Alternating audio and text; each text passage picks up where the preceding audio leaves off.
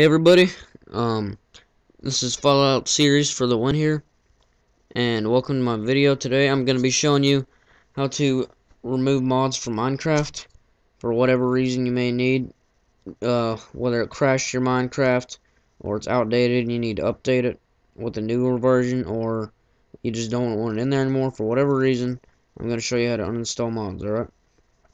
So, to show you that I have mod installed, I have, I currently have Optifine installed. The one I showed you how to install in one of my other videos. Anyway, so as you can see, options, video settings. I got all the settings here.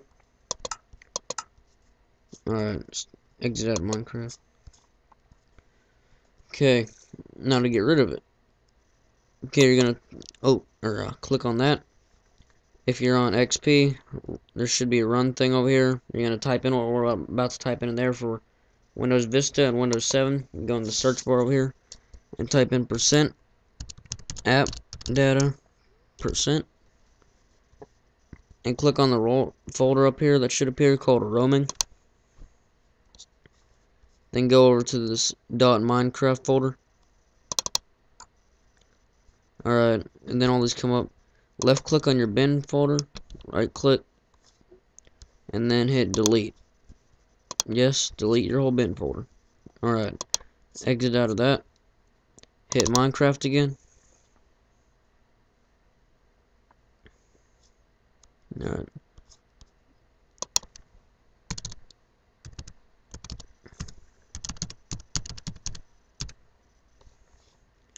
Alright, and then just let it update.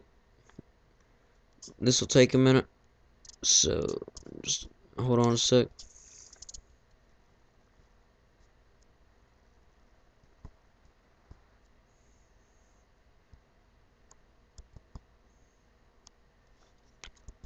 Okay, well, I'm going to pause the video and resume it when this is done updating. Okay, everyone, and I'm here at Minecraft, and as you can see, video settings, see the mod is no longer there, and um, once you update that, okay, as you can see, mod's no longer there, and uh, once you update that, as I will show you, um, and the dot Minecraft thing, you have a fresh new bin folder. So yeah.